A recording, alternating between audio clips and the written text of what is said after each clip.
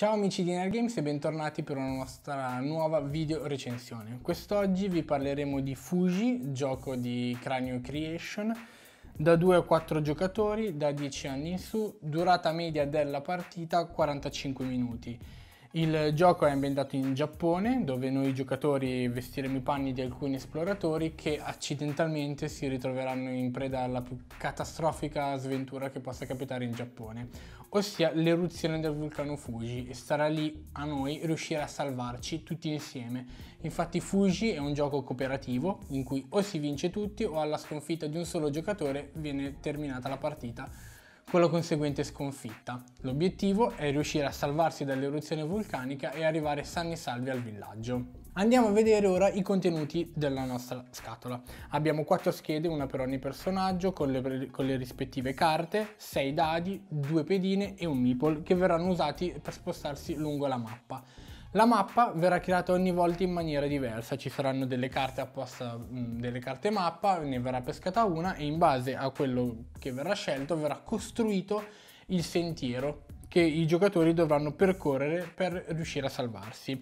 Ci sono delle tessere infatti che andranno a comporre questo percorso, ci saranno delle tessere villaggio che sono diciamo il traguardo di questo percorso, una volta che arriveremo in fondo infatti saremo salvi e ogni carta poi, una volta che verrà diciamo, in, erosa dalla lava del vulcano Fuji, verrà girata. I disegni sono veramente molto molto belli per quanto riguarda l'eruzione del vulcano.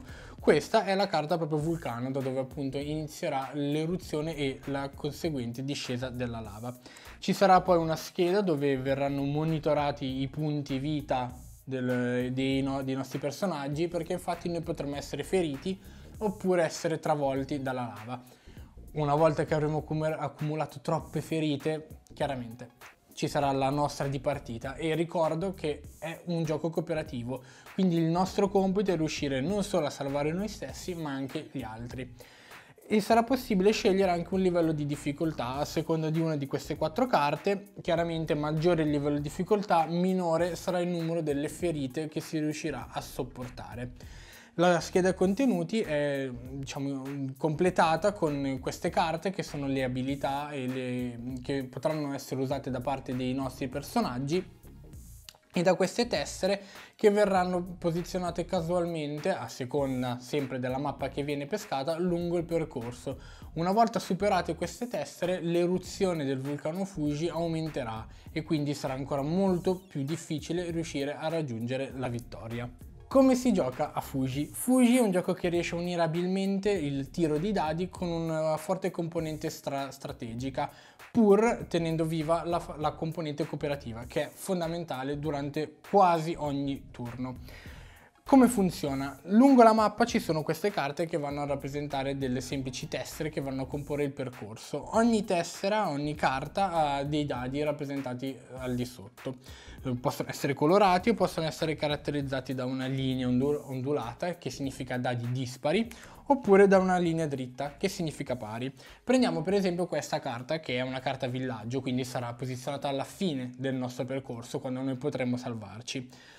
Noi per poter andare qui, quindi per poter raggiungere questo obiettivo, prima di tutto dovremo tirare i nostri dadi eh, alle spalle della nostra scheda, quindi solo noi sapremo il risultato ottenuto.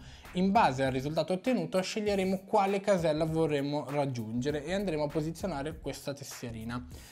Per raggiungere questa tessera, in questo caso particolare, le nostre carte pari blu devono essere di un numero maggiore rispetto alla somma di tutti gli altri.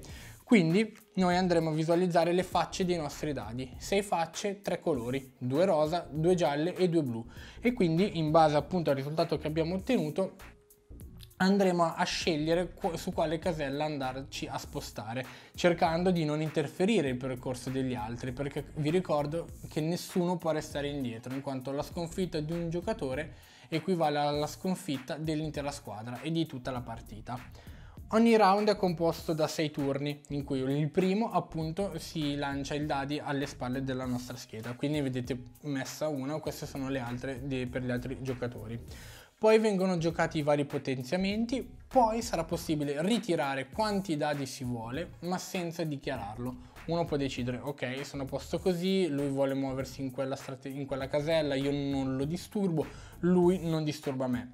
Nella fase 4 sarà possibile di nuovo giocare delle carte potenziamento e poi nella fase 5 avverrà eh, lo spostamento vero e proprio, verranno scoperti i dadi e si faranno i, i conteggi. Nella fase 6, quella più terrificante, tra virgolette, è l'eruzione del vulcano Fuji. Quindi le tessere, come avevo mostrato in precedenza, verranno girate, in questo caso terra bruciata. Se un giocatore si trova su una tessera che dovrà essere rivolta, in questo senso, sarà travolto dalla lava e quindi sarà sconfitto. Invece, nel caso non riuscisse a raggiungere la, tabella, la carta designata, subirà una carta ferita. Troppe ferite equivale a una sconfitta.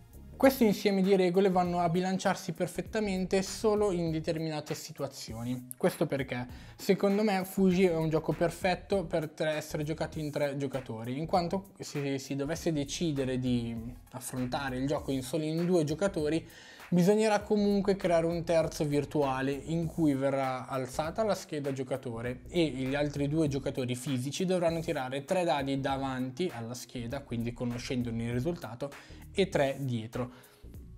Diciamo che è un due giocatori un po' mascherato, in quanto bisogna comunque in qualche modo costruire una terza postazione. E infatti giocando in due perde un po' di quel mordente che si può avere invece giocando in tre o in quattro. Raggiungere la vittoria può essere facile, chiaramente scegliendo il livello facile è mm, molto più difficile riuscire a morire per via delle ferite, mentre con il livello più difficile raggiungere la vittoria sarà veramente arduo, soprattutto quando il vulcano inizierà a eruttare e si inizia a percepire la tensione della lava che sta, si sta avvicinando. Questa cosa è stata veramente molto apprezzata da parte nostra, in quanto senti un po' quella premura, quella pressa di doverti muovere a tutti i costi per evitare di essere travolto dalla lava.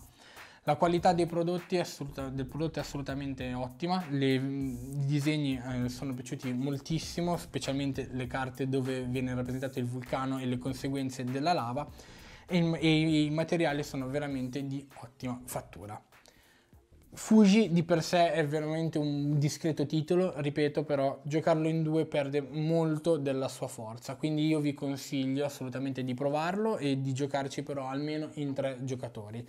La durata di 45 minuti è ben rispecchiata se si conoscono già le regole. Chiaramente all'inizio, forse la prima partita, bisogna prendere un po' di mistichezze, quindi potrà durare più di quei 45 minuti, ma la durata media è assolutamente garantita, come riportato sulla, sulla confezione. Fateci sapere dunque se voi avete giocato a Fuji, se avete avuto le nostre stesse impressioni, se vi è piaciuto giocarlo anche in due o se anche voi ritenete il gioco perfetto per tre giocatori o addirittura per quattro. Fatecelo sapere nei nostri commenti, veniteci a trovare anche sul sito per scoprire la, il voto che abbiamo dato a Fuji, che vi ricordiamo essere distribuito da Cranio Creation.